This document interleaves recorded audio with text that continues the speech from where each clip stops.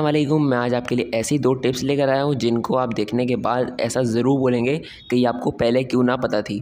तो वीडियो को एंड तक ज़रूर देखिएगा, काफ़ी मज़े की वीडियो होने वाली है। तो यहाँ पे जो हमारा चूल्हा है, बिल्कुल देखें कितना गंदा हो गया है और इसकी जो जाली है, बिल्कुल नीचे चिपक चुकी है, क्योंकि इसके ऊपर चाय वगैरह गिरती रहती है, सालन वगैरह गिर जाता है तो उससे ये जल जाती है और ऐसे चिपक जाती है। तो यहाँ पर हमने लिया वाइट विनीगर यानी कि सिरका। काफ़ी आसानी से ये हर घर में अवेलेबल होता है। और काफ़ी आसानी से मिल जाता है। तो इस तरीके से सिरके को हम डाल देंगे साइडों के ऊपर, जाली के किनारों पे, और यहाँ पे हमने लिया है सोडा।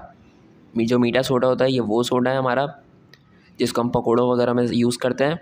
तो इस तरीके से हमने इसको साइडों में डाल देना सोडे को भी, और सोडा और विनीगर ऐसा काम करेगा कि आपकी जो जाली है वो एकदम से ऐसे लूज़ हो जाएगी सिर्फ़ पाँच मिनट के अंदर। तो इसको पाँच मिनट के लिए हम छोड़ देंगे।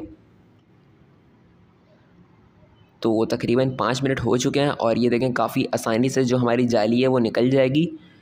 ये काफ़ी आसान सी टिप है आपके लिए और आपके लिए काफ़ी ज़्यादा यूज़फुल होने वाली है, जो कि आपको ज़रूर पता होनी चाहिए। तो इस तरीके से हमने किसी भी डिश वॉशर की मदद से, स्पंज की मदद से इस तरीके से सफ़ाई कर लेनी है। देखें काफ़ी आसानी से साफ़ हो रही है ये, अगर आपके पास डिश वॉशर नहीं तो आप कोई भी बर्तन धोने वाला साबुन भी यूज़ कर सकते हैं। दोनों एक ही काम करते हैं। तो इस तरीके से आपने इसको अच्छे से सफ़ाई कर देनी है और काफ़ी आसानी से इसकी सफ़ाई हो जाएगी। और इसी बात पे वीडियो को लाइक कर दीजिएगा। इसी से हमारी हौसला अफजाई होती है कि हम आपके लिए ऐसी नई नई वीडियोस लाते रहें। इस तरीके से आपने अच्छे से सफ़ाई करनी है और ये देखें, हमारा जो चूल्हा है बिल्कुल न्यू जैसा हो गया कितना शाइनी हो गया है, कितना ज़बरदस्त हो गया है। इस तरीके से कपड़े की मदद मतलब से आपने अच्छे से सफ़ाई कर देनी है इसकी। और जो भी इसकी गंदगी थी वो बिल्कुल ख़त्म हो चुकी है और कफ़ा काफ़ी ज़्यादा ही साफ़ हो चुका है। तो इस तरीके से जाली को वापस रख देंगे तो ये टिप आपने दूसरों के साथ भी ज़रूर शेयर करनी है ताकि सबका ज़्यादा फ़ायदा हो जाए। तो अब चलते हैं हम टिप नंबर टू की तरफ़, जो कि काफ़ी ज़्यादा यूज़फुल होने वाली है और वो भी काफ़ी ज़्यादा आसान सी है।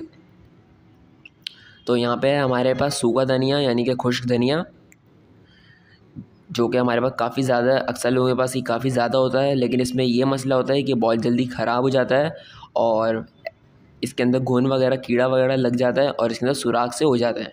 तो आपने क्या करना है, इसको कैसे बचाना है, इसकी लाइफ को कैसे बढ़ाना है आपने? तो यहाँ पे हमने लिए तेज़ पत्ते जो पुलाव वगैरह में यूज़ होते हैं। किसी भी स्टोर से आपको इजीली मिल जाएँगे, आप उनको बोल दें, तेज़ पत्ता दे दें तो आपको वो मिल जाएँगे।